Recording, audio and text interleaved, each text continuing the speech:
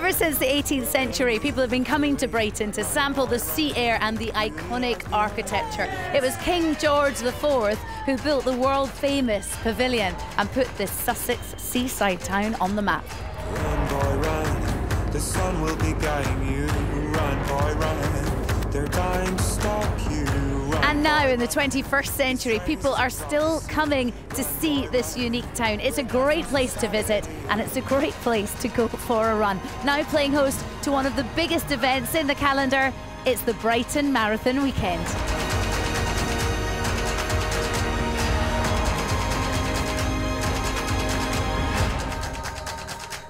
The Brighton Marathon weekend is the first major event on the calendar every single year, and it certainly is the most colourful. With the mini mile, the BM 10K, and the marathon itself, there truly is something for everyone. And with thousands upon thousands coming down to cheer you on, this fast, flat course really does appeal to marathon first timers and those seeking out a PB. Your commentator today is Tim Hutchings. Let's go over to him now to find out more about that course. Well, the Brighton course is surprisingly fast for a hilly city. It starts in Preston Park for the masses there. The elite start is one mile north on the uh, A23 coming down into the city centre. But the athletes, well, they negotiate uh, some hill in that first circuit around the park, the masses, then down into the city centre, around Brighton Pavilion, up the Lewes Road, back down to the seafront where they head out east past uh, Brighton Pier and the Marina and up the Ovingdean Valley. That's a lovely little trip up there. Beautiful countryside. Back along the coast road with majestic views. Past the finish, they'll see that on their left. Then the halfway line. Out west along Newchurch Road. Back along that very, very flat, fast loop. Huge crowds along there. And then out uh, west again around the power station loop. That's tough, that section. A little bit desolate before the last three miles, which they have to earn. And the massive crowds of the last mile to the finish line. With 11,000 runners pounding the pavement here in Brighton this morning, it's important that I get some help covering the ground. So I thought I'd recruit a nifty little runner, someone with some decent running pedigree. Uh, Olympic medalist Katharine Merry, thank you for coming down today. Oh, no problem. It's an exciting day, isn't it? As you've mentioned, big numbers are expected once again in this. It's just a growing event. It's a growing weekend. And no, the weather's looking good and the runners are, are gathering behind us with excitement in their eyes. So, no, looking forward to a super day. A lovely, flat, fast course as well. That's why it's so popular because you distance runners love your flat, fast courses. I like downhill courses particularly. Yeah, I like short courses. that's it. Uh, but that's what's bringing in the elites as well because they can really get great times here. Yeah, they can. It's becoming a very popular race with some of the best names around the world in marathon running. And in the elite races today, we've got a couple of athletes from Kenya that have won this race previously before. Dominic Kangor is back and Eunice uh, Kales is back as well. It's been well known now across the uh, marathon world, shall we say, that this is a flat, fast course and people just love running here. You've got your running shoes on. Yeah. I like to see you're prepared. Are you all set? I'm prepared. I've got to keep up with these runners. I'm not as fit as I used to be, so uh, I'm not doing the 26.2 miles, but yeah, it's going to be a good day. We're going to have some fun. We are indeed. Well, there's going to be a lot of fun out there. Not all running particularly fast, but thousands of them running for charity. Wonderful atmosphere in the uh, spring sunshine in Preston Park. Dermot Cameron hoping to be the fastest shoe ever amongst those charity runners. Running a marathon is no easy feat, especially if you're a first timer. Plenty of first timers will be taking to the course today. This man here is one of them, Sam Stevens.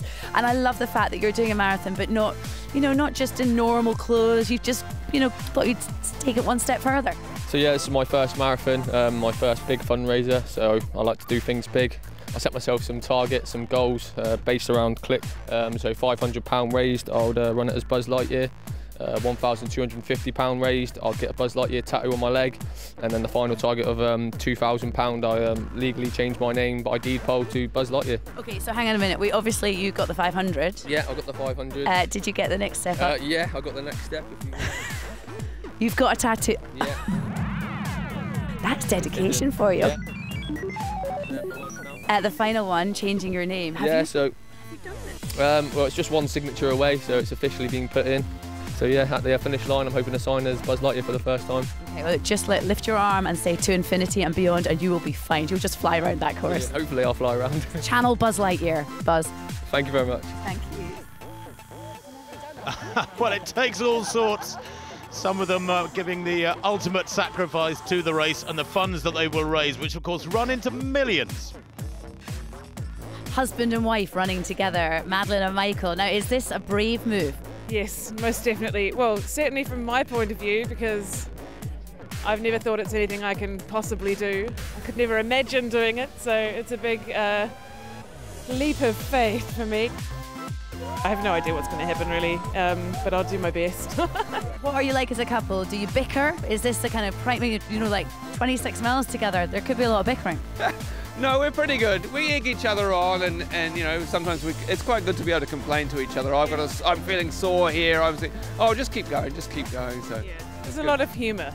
There's a lot of smiles, most of them just wanting to get round, but some big names in the park, none bigger than Jo Pavey, the European champion from last year at 10,000 metres, who's the official race starter. Tense moments on the start line. But away they go at 9.15 a.m. in Brighton sunshine that is every race organiser's dream. Pavey, of course, becoming a legend last year, winning the European title in Switzerland at the age of 40 over 10,000 metres. What a gutsy run it was. What a great career she's had. And uh, many of those athletes enjoying a high five with the European champion to start their 26 mile journey. Such a positive atmosphere at the start of all these big races. Many, many athletes are spurred on by their desire to run for charity. The Rafferty brothers there in yellow, running for the Whoopsie Daisy charity, a local charity actually based in Preston Park. And uh, David running with his three brothers. He's got a challenge to beat the rest of them home. We'll be catching up with them later, as indeed we will with other charity representatives. The UK Punjab Heritage Association has runners in the race today. Angad and Satnam Singh are out there. We wish them the best of luck on their 26 mile journey. Well, 11,000 runners are now on their way, and as well as all the charity runners, there's also a truly brilliant elite field out there. And we're going to be catching up with them very, very soon.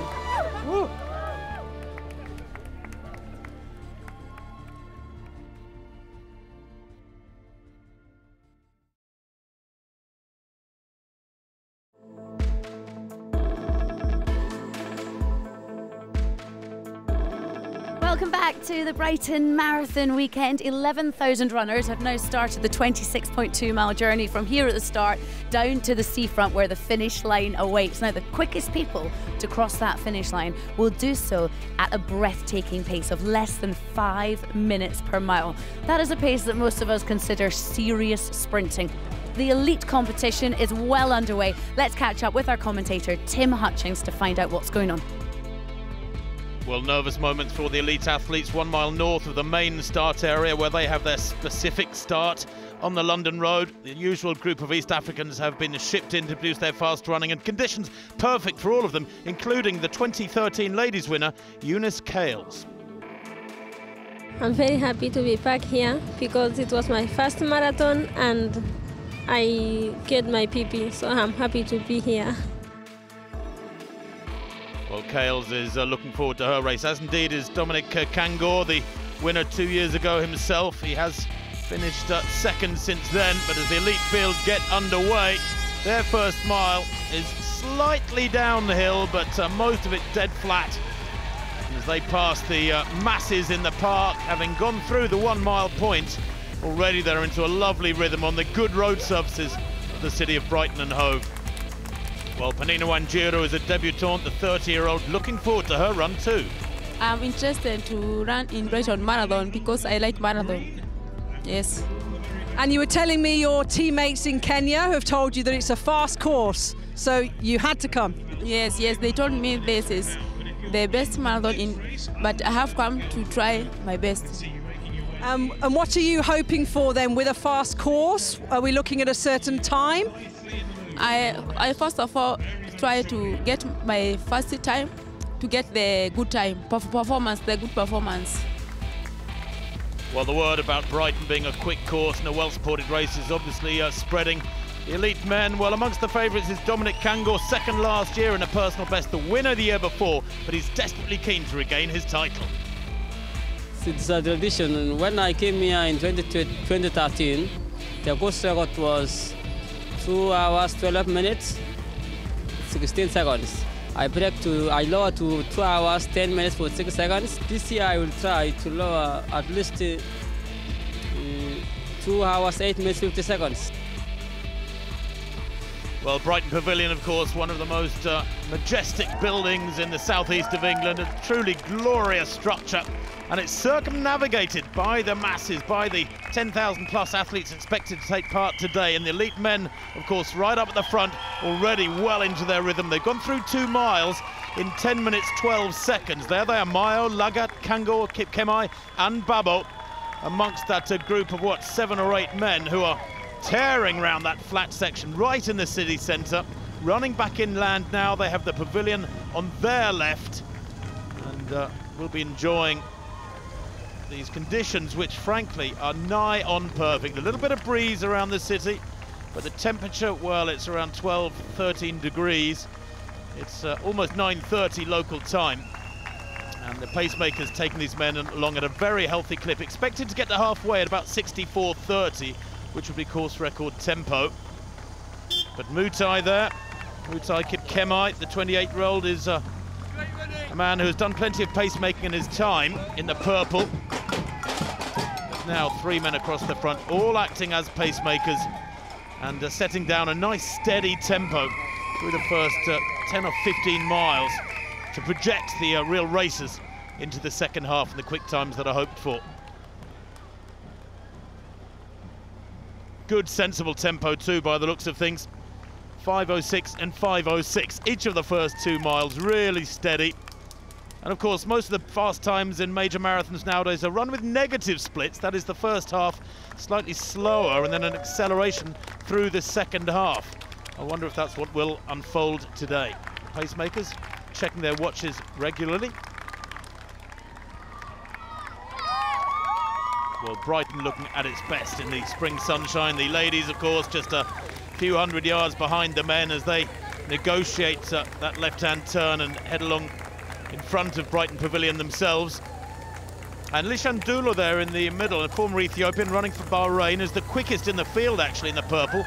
Best of 2 hours 26 minutes from uh, Rotterdam four years ago. Well, that course probably a little bit flatter than this one being in Holland. But uh, certainly Eunice Kales over on the far side with the best of 227 will expect to give her a good race. Penina Wanjiru on the near side in the uh, greenish yellow top.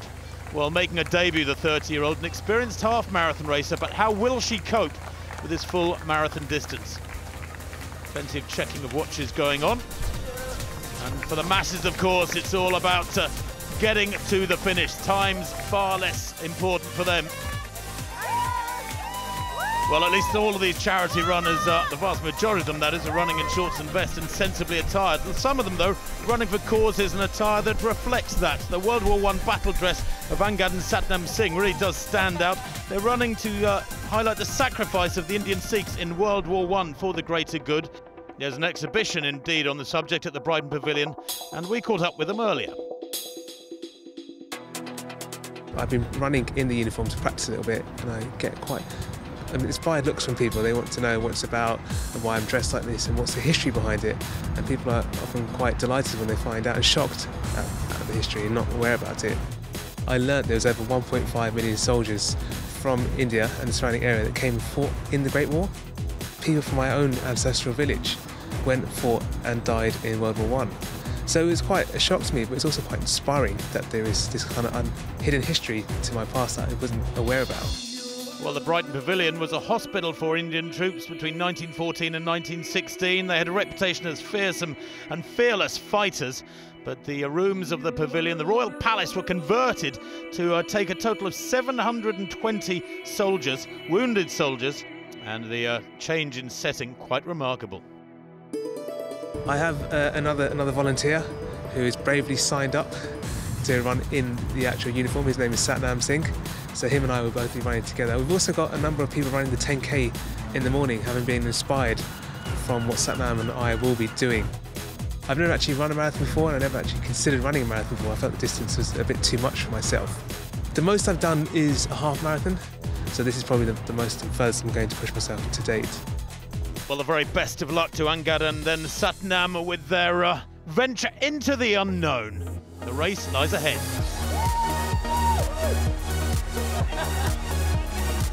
Well, so many good causes being run for today. One in particular is a Guinness World Record attempt by the fastest shoe. The gentleman in that one trying to break 4 hours 40, 56 seconds. Tough call in what gear.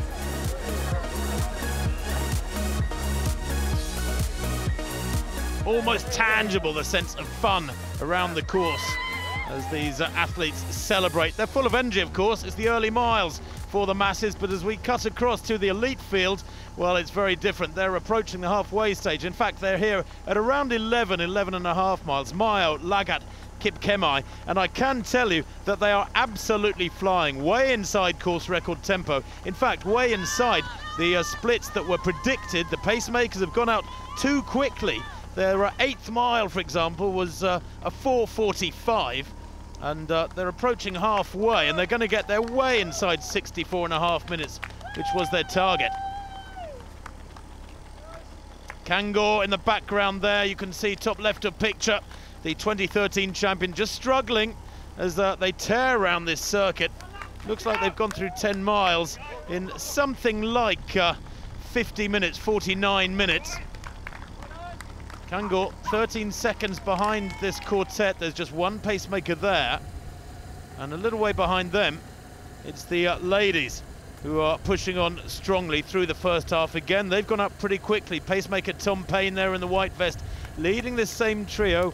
Penina Wanjiru, who uh, wears the green and black outfit there top right. Nearest the camera, 52, that's Eunice Kales, uh, the winner here in 2013. And uh, Dula the quickest of all of them. In the purple there, the former Ethiopian running for Bahrain. Looking quite comfortable as uh, Tom Payne does such a good job taking them on at a nice, steady tempo. Looking for around uh, 74 minutes, 74 and a half minutes at halfway, and they too are inside that at the moment, as indeed uh, Wanjiru looks strong almost uh, in contact with Tom Payne. Kales has dropped off. She's going through a bad patch in the background there, top left of picture. That gap's about 50 metres. They're on a downhill section now, and they really are striding out strongly. So 11 miles gone for the leading ladies, and the race beginning to be sorted out now.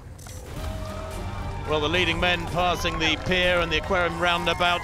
Kangor is struggling losing a little ground on that uh, quartet up in front, the man who won in 2013, but he does know the course well. And a similar story in the ladies' race too, uh, with uh, a former champion chasing a small group. The men approaching halfway, indeed through halfway now. And Kangor on a bit of a charge. He's had a bad patch, but he's coming back.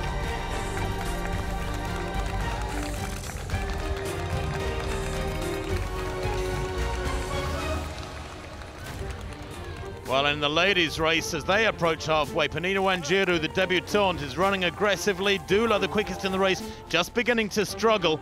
But can Wanjiru hold on, or has she misjudged it for the second half? With Kales some way back, the former champion. Well, the sixth Brighton Marathon unfolding nicely. The second half lies ahead for the elite athletes. Stay with us. We'll be right back.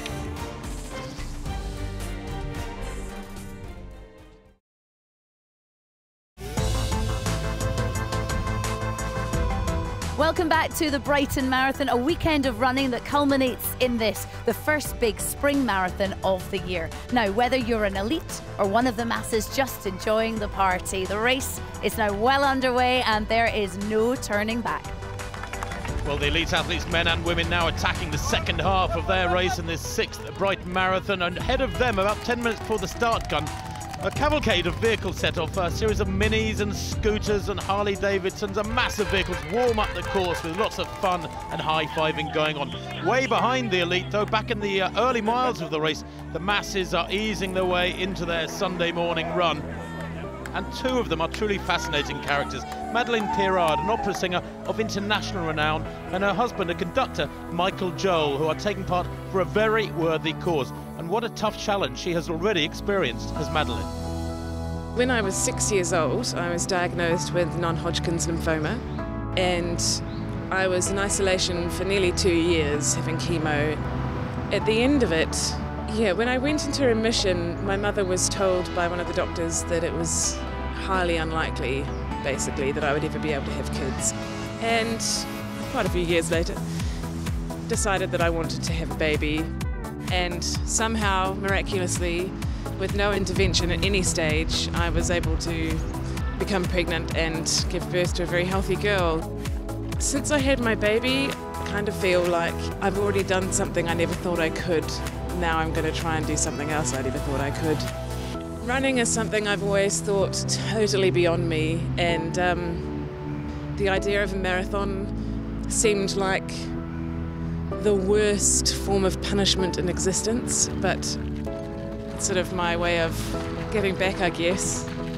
My husband Michael is a very athletic person. I am not, by any stretch. My wish for the day is that I can complete the whole thing without having to walk. I would love that. And I would love to do it in less than five hours.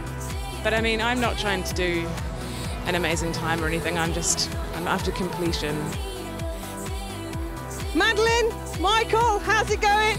It's okay at the moment. So our opera singer and our conductor, husband and wife, you're looking good. You're going to run together all the way, Madeline? Oh, yeah, yeah, for as long as we can, yeah.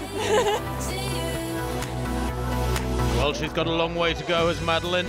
The worst kind of punishment she can imagine, but everybody's volunteered for it this morning. Athletes of all shapes and sizes, running for literally hundreds of different charities associated with the Brighton Marathon, including the Sikhs. How is their day going? Well, easing along the seafront with uh, many miles behind them. And the crowds giving them so much support after the local publicity they've received. Guys, come in. How are we going? Very tough, very tough, but very good. Really hot today. I underestimated the uniform. but It's ma- making it a bit harder now. A great, amazing crowd, brilliant crowd, keeping us going.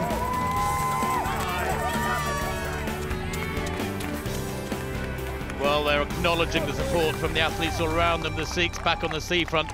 But meanwhile, uh, the elite athletes ploughing along, and it's Kipkemai and Mayo now, with Kangor still chasing hard, just a couple of seconds down. He is closing, as has been the case for uh, the last 20 minutes or so as they go through this third quarter of the race. The tiny figure of Kangor with that bouncing, aggressive stride. Well, that's the first time I've seen an elite athlete choose to grab a two-litre bottle of water, but uh, it seems to be uh, doing the job.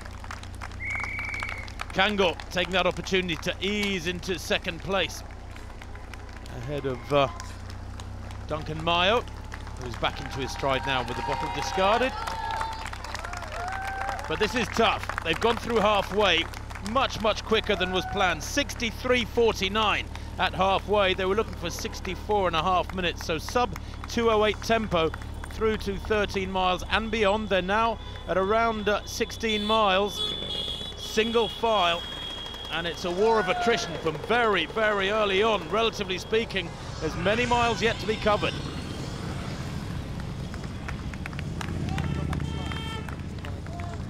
These are ideal conditions for elite marathon runners, though. Good flat surface, long straight stretches. You can get into a steady rhythm where your body can reach its uh, optimum equilibrium, so to speak.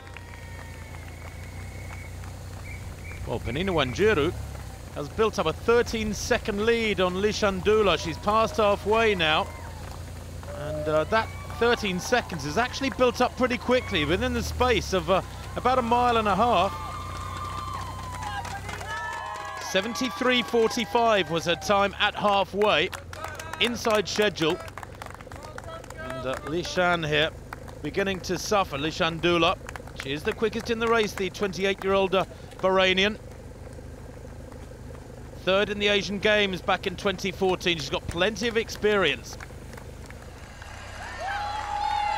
Well locked together in combat are the men uh, in the second half of their race as they turn right onto Grand Avenue, head back down to the seafront for the final time. They've still got some uh, seven miles or so to go.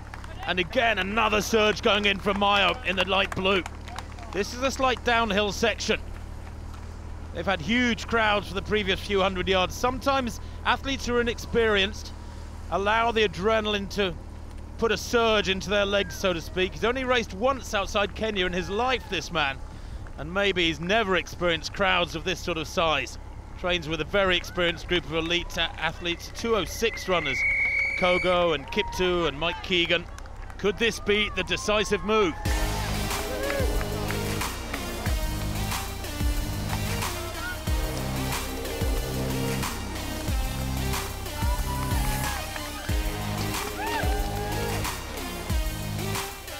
Well, Duncan Mayo moving strongly, and he's built up that lead at that far western section of the course near uh, Shoreham Power Station. He negotiates that turn. A little glance over his shoulder there, and he can see that the pressure is still being applied by Kangor, the former champion, the 25-year-old who knows this course. He knows what's coming up in these remaining four and a half miles. This is where the racing starts. Now, the marathon itself only lasts a few hours, but the action goes on all weekend. So, we've been having a little look at what it is that brings the masses to the South Coast. It is indeed not just about the marathon, it's about the BM10K, the mini mile races, and the Brighton Marathon exhibition. Tom Naylor is the race director, and Tom, this is the sixth year now, and every year this Brighton Marathon weekend is getting bigger and bigger.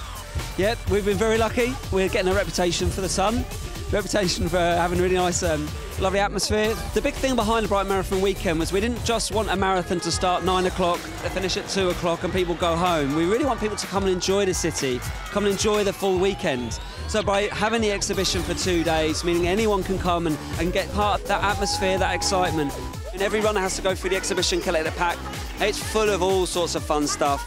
There's a seminar area where you can go and learn. All those runners sharing their experiences. The exhibition is like the first step in, in their marathon journey.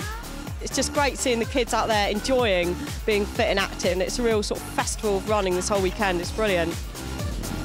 Last year, the 10K was the second fastest in the UK, which is brilliant, first time out. So fingers crossed the wind dies down a little bit. And then we're looking forward to a good, fast race. And yeah, two and a half thousand people, which is great. Well, the BM10K is starting at 8.30, 45 minutes before the marathon, and Andy Lemoncello amongst the favourites. It's all going to be, I think, about the weather. You know, we've got great Brits to be running against. You know, this wind's going to be a big factor, but we've got this last 2K going down the road with the wind behind, so that's going to be screaming fast, and I'm just looking forward to that part, to be honest. Want to go for a win, of course, and, uh, you know, sh show that I'm back. Well, unfortunately, Lemoncello didn't win. The victory went to Johnny Taylor. Lemoncello was fifth, while uh, Steph Twell won the women's race ahead of a star-studded field.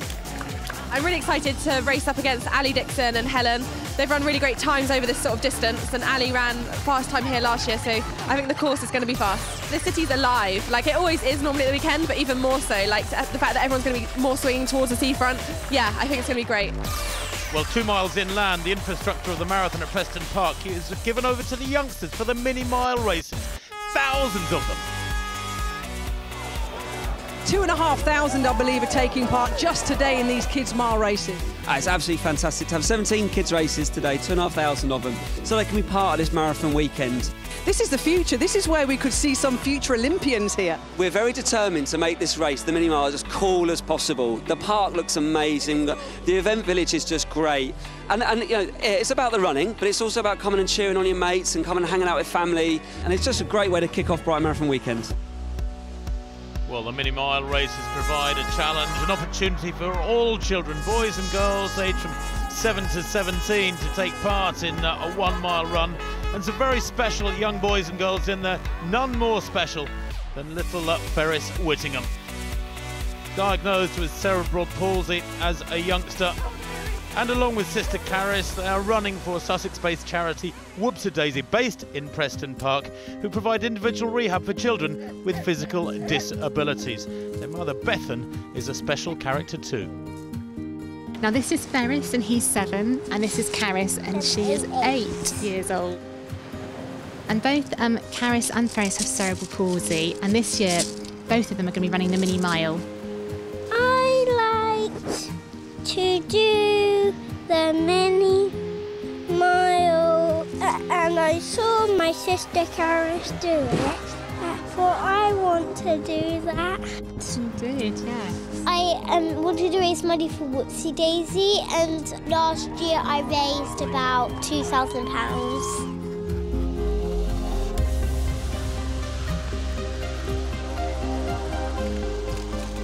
We found that, out that Ferris had cerebral palsy when he was about two.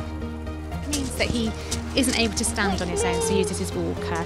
And um, with steps, he can do a few steps on his own, but it's quite a challenge because he hasn't got the sort of strength to do that.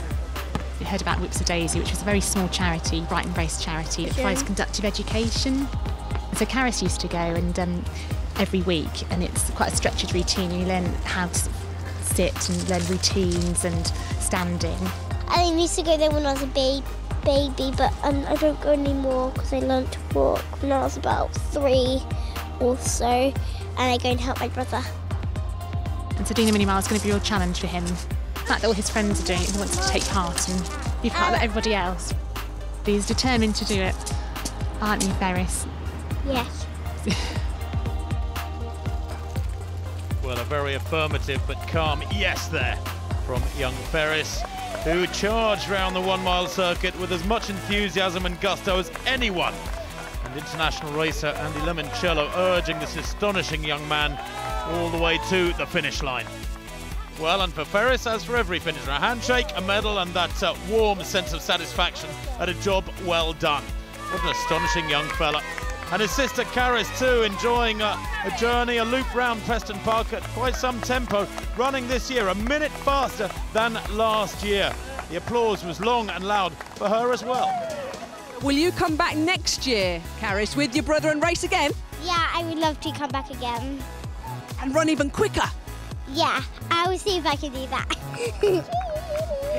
Right, so Ferris, tell me, how was it for you? Did you enjoy yourself? I ran out of breath, so I had some water to keep me going. I ran down hills and very tight gliding there and there, uh, sort of like a wobbly zigzag. So I think it was great. Well, he thought it was great, and so did thousands of other youngsters in the mini mile races of 2015. The wind was strong, but that didn't put any of them off. The uh, skies were blue, and whether they went round fast or slow, it appears that over 2,000 youngsters had an absolutely fabulous day. Well, smiles all round for the youngsters uh, as they got their mile races done. For the marathon runners, a slightly different challenge 26 miles, 42 kilometres of uh, roadway lie ahead. And amongst those uh, thousands of starters earlier on this morning, David Rafferty and his three brothers were in there somewhere, running for Whoopsie Daisy.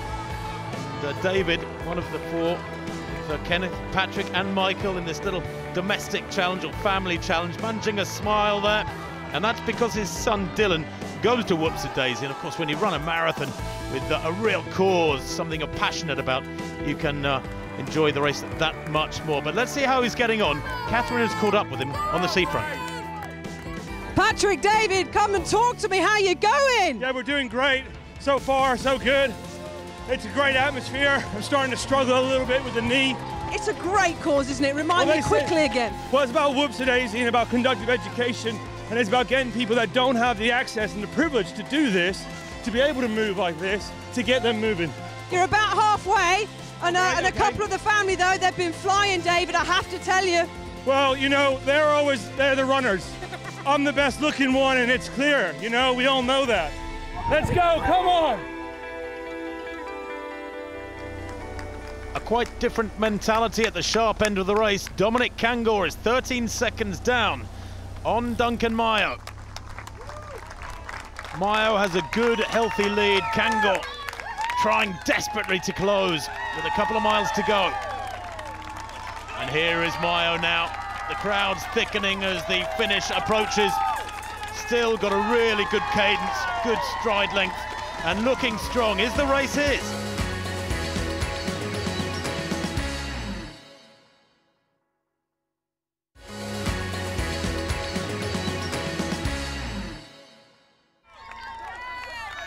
Checking his watch, but there's no need because he has a good margin behind him.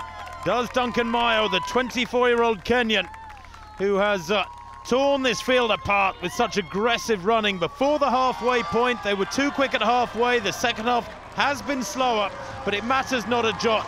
For him, the win is all important. This is his fifth marathon. A personal best of 2 hours, 11 minutes and 47 seconds is about to be washed out of his record book because he's heading for a personal best. The winner of the sixth Brighton Marathon on the coast of the UK. A beautiful win there for Duncan Maiyo.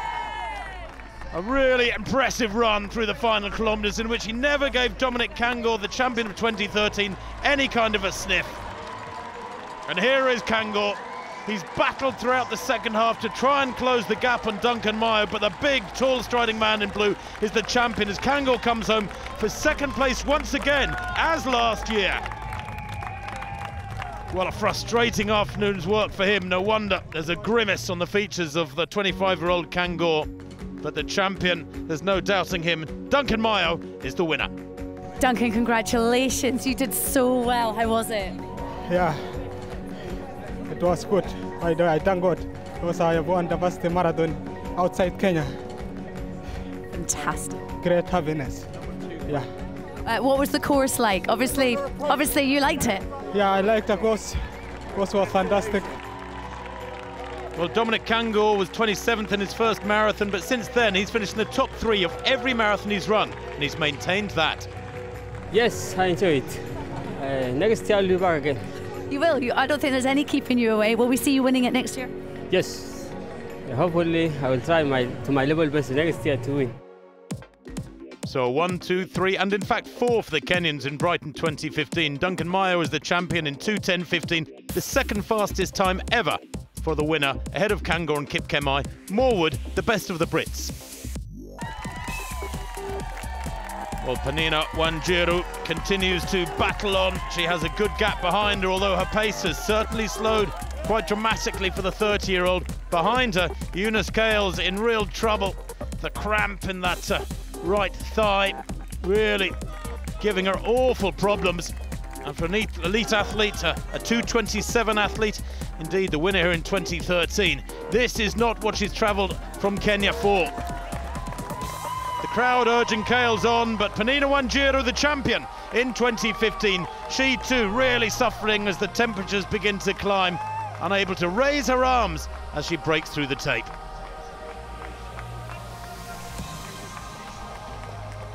And Lishan Dula of uh, Bahrain in slightly better shape, but well beaten by Wanjiru today.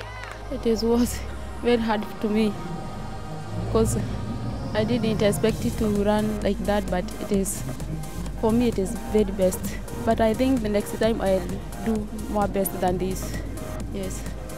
You have said next time. Does that mean you're going to come back to Brighton? Yes, I I wish to come again. Well, Eunice Kales has had a very, very tough last mile and a half, but the crowd's urging her on. They would not let her stop. And uh, now she reaches the tape in third place, the former champion, in a time of 2 hours 53 minutes. It's taken her a long, long time to cover the last few miles. In fourth place, the first Brit in a personal best, Sarah Kingston, coming home, and this is a strong run from the Jeff Hill coached athlete. There it is, confirmation of a Kenyan one and three. Dula, the former Ethiopian, slipping in between them for Bahrain. And Sarah Kingston, the best of the Brits. Well, behind them, many thousands have many miles to go just yet. All the characters, all the charity runners, amongst them Sam Stevens now as he raised the target of £2,000 to change his name by deed poll to Buzz Lightyear. He'll have to wait and find out when he gets to the finish. But the support in Brighton is unbridled. It's a great atmosphere, absolutely brilliant. We're absolutely loving it. What a day. Look at the support, it's amazing. I didn't think I'll make it this far, but I'm doing well. You're doing very well and you're smiling still. I still have a smile, thank God for that. It's not unique in Brighton, but it is common to everybody. They're smiling all the way. How's the opera singer and her husband, the conductor, doing out there? And the crowds here on the seafront are absolutely outstanding. Are they helping you along? Yeah, they're fantastic. They're, they're stopping me from walking. Well, that's good, that's good. And you okay over there, Madeleine? I'm, uh, I'm okay, yeah. We'll leave it at that. I can see you concentrating. I'll see you later. Okay, thanks. They tell me that Elvis is dead, but he's in the Brighton Marathon no, ma'am, today. I, have been uh, I've been here all along, you know. Oh, you got your blue suede shoes on? No, ma'am, I got my blue suede trainers. Are you enjoying the crowd? Because you love an audience, Elvis. absolutely fantastic. For somebody who's run a half marathon already, that is some Elvis impression. High fiving from the youngsters for just about every runner out there. Well, Patrick Rafferty is out there, but he's some way behind the leading brother. Michael, Michael, I'm right behind you. I'm not going to stop you slowing down. You are on form and on fire today. My nipples are playing up. That's going to be the rate limiting factor. I've got to fight through nipple pain. Well, you're going to be the winner in terms of the brothers today. I hope so. You've got a mile to go, Michael. Well done. Only one mile. Well done. Well, it might be only a mile to go, but it'll be one very, very long mile. Thank goodness for the uh, crowds who are carrying this flood of finishers along the seafront towards the finish in Madeira Drive in Brighton as they pass the wheel with just a couple of hundred yards to go. There's the scene for every one of these finishers, and it is Michael Rafferty who comes home to win the family championship. So basically, you win the banter chat later tonight. For a whole year, yeah, for one year only. Kenneth coming through for second place. He looks tired. He is quite enjoying the fact he's come first. I bet he is. It's going to be unbearable for the rest of the week. He said a year. Yeah, long we'll get him to do another one and hopefully beat him then. a year of an unbearable brother who's beaten you in the Brighton Marathon. Well, the celebrations for the hundreds continue. I loved it. It's my first one. My first one. Um, I've got a mate coming through in a, in a bit, but yeah, it's amazing. The support just really takes you through. And it's needed for every one of these running heroes and heroines. Coming through are the uh, Rafferty brothers. And there is Patrick, the third of the brothers, ahead of David in fourth place, who got them all into it. You may be the last of the Rafferty brothers today, but it oh, doesn't matter because the charity's a winner and you've done another marathon, sir. It goes bigger than me. This is not about me and my body. It's about it's about everyone coming together and feeling the vibe, you know? Yeah. We are the champions.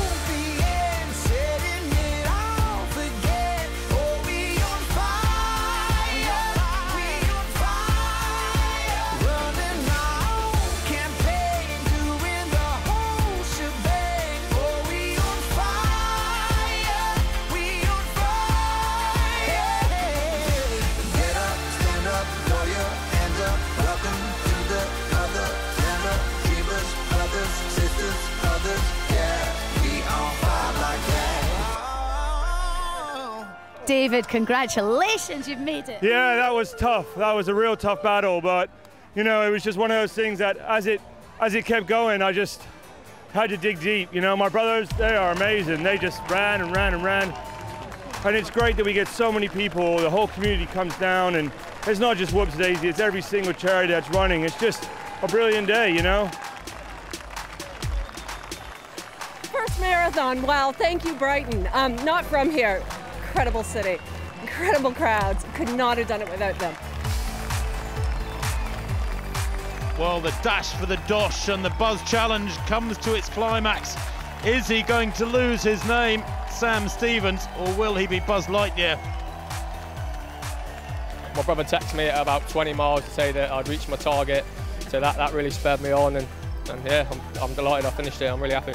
Well done. Let's just talk about this target thing and also the fact that the crowd were shouting go buzz because from now on all your mates will be saying go buzz because that has to be your name now. Yeah. so where is that deed poll that we saw at the start? The deed poll's in my bag. I believe someone's going to get it now. Uh, but yeah I, I signed my life away as Sam Stevens and, and I become Buzz Lightyear from now on. I think I'm just going to let you go now. Okay to infinity and beyond well, there is a man breaking the world record for the fastest time in a shoe. He was chasing 440.56 for a Guinness World Record. Dermot Cameron comes home in 4 hours 14, 48 seconds. Well, that for Cancer Research UK. And here is Paul and Andy Spriggs. Father Andy in the wheelchair there, suffering from motor neuron disease, taking part to raise awareness, and it also enables Father Andy to uh, take part and to fundraise and gives him some positivity and something to look forward to, of course, as well. What an achievement. How does it feel, both of you, father and son, cross the finishing line at the Brighton Marathon? Really, really awesome. I can't believe I've done it. It was really tough going back there. second half of the course is so difficult. Support of the crowd and family running along with us got me to the end. Your son did it. Your son did a good job, Andy, didn't he today? Proud of him. I'm so so proud of him. It's fantastic. I'm so proud. Nothing like a father-son relationship, except maybe a husband-wife relationship. Madeleine Pierard, the opera singer, comes home with Michael Joel, her husband, the conductor. It's been a long afternoon for them too. Really happy that we decided to do it and uh, that we finished. Yes. And the running Sikhs, Angad and Satnam Singh, well done to them as well. What a day it's been for the UK Punjab Heritage Association. All in that uniform. Come here, you did brilliantly. Thank How was much. it? Tough, incredibly tough. I, I, I find that really hard to believe dressed the way you are. But you know what? The crowd's been phenomenal, pushing me through all the way. I have to express my thank you to everyone here today in Brighton. It's been the best weekend of my life. Well done to you. Amazing. What a crowd. What an atmosphere. First marathon done. Best feeling ever. Wow. What a day. Amazing place. Well, the unique setting of Brighton Beach welcomes those who have finished. They can meet friends and family, get food and drink, and celebrate their wonderful day with some 50 or 60,000 others in the sunshine. You know what? Running a marathon is a challenge for anyone. And these are the final few people now making their way down to the finish line. 11,000 people will have crossed that finish line today. And what a great day they've had. They have. Of course, you know better than most, Jenny. I've never run a marathon myself, but yes, it's painful. They'll be sore for a few days, but you know what? Tick the box. I have completed a marathon, and that must be a very, very special feeling for all of these thousands of people. They've been superb today. Great weather, great atmosphere, great crowds. Another top weekend. Highlight for you? Oh, it's a, it's a tough call, isn't it? But I think it would have to be all the the thousands that have been raised for all the worthy charities, um, but the atmosphere. It- It's been special this weekend. It's been a really good one. Yeah, I have to say, standing on that finish line and seeing people well, get so emotional as they cross the line because they're so proud of their efforts and quite rightly too. That gets to you. I've cried a few times. I haven't really done anything, uh, but it has been great. Thank you very much for joining us. Uh, I guess it's um, goodbye from us. and we'll see you next year here at the Brighton Marathon. I do wonder what Buzz Lightyear is doing now, though. He's practicing his new signature. he must be. I have given all myself, all that I had left to give, all the reasons I confront. You're my reason left to live. If that ain't enough.